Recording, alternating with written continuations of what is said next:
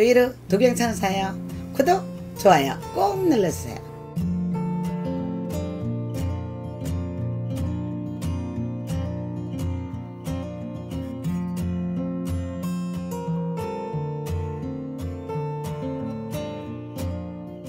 GT 운세를 여쭤보기 앞서서 음. 나 이제 GT 분들의 좀 성향은 또 어떨지 좀 그거부터 선생님 말씀해 주시면 될 것 같아요. 뒷띠부는 어, 내 재물을 지키지도 못하면서 재능만 많아. 벌리는 성향도 너무 많아. 음. 너무 많다 보니까 그게 싫어. 잘못됐다고 보지. 없으면서도 벌리면 어떡해. 나무 같이 죽자는 거야. 그렇죠. 그건 잘못된 거야. 그래서 안 그런 척 하면서도 없다고 표현하는 거. 은큼해. 지티들은 홍염살이 너무 많이 끼어있어. 남한테는 지티들이 왜 은큼하냐면 속이 정말 고통스럽게 아픔을 많이 겪고 있는데 안 그런 척 은큼 떨어. 그러면서 남한테 위로받은 척 하나 슬쩍 내밀어 주는 게 지티들이.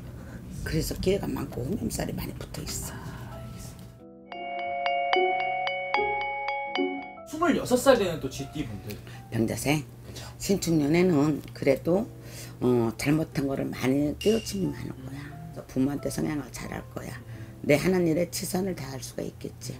직업상에 내가 없었던 직장도 내가 취업이 됐으면 그 기쁨을 얻어서 정말 그 일에 열중할 거야. 생년 월시마다 다 틀리지만 그래도 26살은 참 좋다. 취업도 되게 중요할 것 같아요. 취업은 괜찮아. 좋네요. 그래서 경제생 GD들은 26살은 괜찮다고 볼 수가 있어. 38살 되는 38세 GT 분들네. 와 갑자생은 좀 나빠. 갑자생 지티는 벌리는 게 너무 많아. 자기가 뭐 우두머리가 있으니까 자기가 꼭 사장을 하면서 하지도 못하면서 사장하려고만 해. 그래서 항상 재물에 손자가 많아. 그러니 될 수 있으면 벌리지 마. 말은 겁나게 잘해. 말은 또 잘하는데 어 말은 겁나게 잘하는데 정말 그건 아니야. 뭔가 허세가 많을 것 같아요. 그렇지. 그리고 바람 나지 마. 아 바람기가 좀 있어요. 바람기 많아. 그래서 웅큼한 성향이 갑자기 바람 난다고 볼 수가 있어. 이성 문제로다가 말썽이 많다. 그러니 조심해. 한백살. 임자생은 음, 머리가 참 좋아.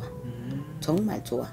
좋으면서 재능도 많아. 내가 하고자 하는 일에서 막 성과를 얻으려고 노력을 하는 입장이 있겠는데 임자생은 보편적으로다가 굉장히 힘들었어. 네. 어, 올해 신축년부터는 그래도 운기가 나쁘지 않게끔 들어오겠다. 그래서 문서를 갖다가 잡을 수가 있고 어, 새롭게 시작할 수가 있고 기쁨을 얻을 수도 있어.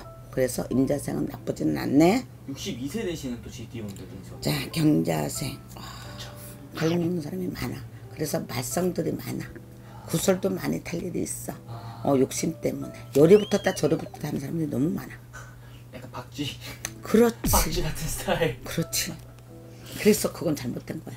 강권도 많이 생길 거고, 어, 남의 걸 갖다가 덤탱이 맞아서 내가 말썽이 많을 거니까 무슨 일을 하면서도 서로 검토 잘하고, 사인. 정말 하긴 잘하고. 그래야 괜찮겠어. 잘못하다가는 모든 일에서 내 것이 뺏긴다.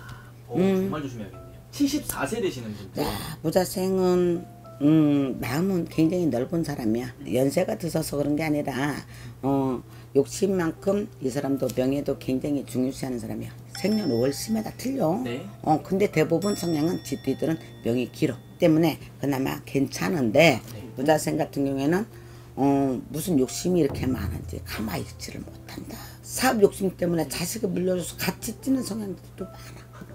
좀 쉬세요, 쉬세요. 제발 쉬십시오. 어, 쉬세요. 그래야 건강도 챙기고 이제는 응?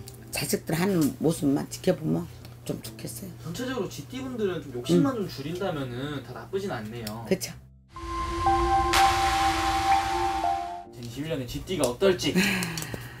집지가 오반기가 재수 있게 도와주고 대부분 건강만 조심해. 어, 이러다가 호명질 일 있어. 무슨 호명? 암으로. 음. 암으로 호명질 일 있으니까 정확히 조심해라. 응, 어. 진짜로. 건강만 조심한다면 그럼 다 좋다. 응.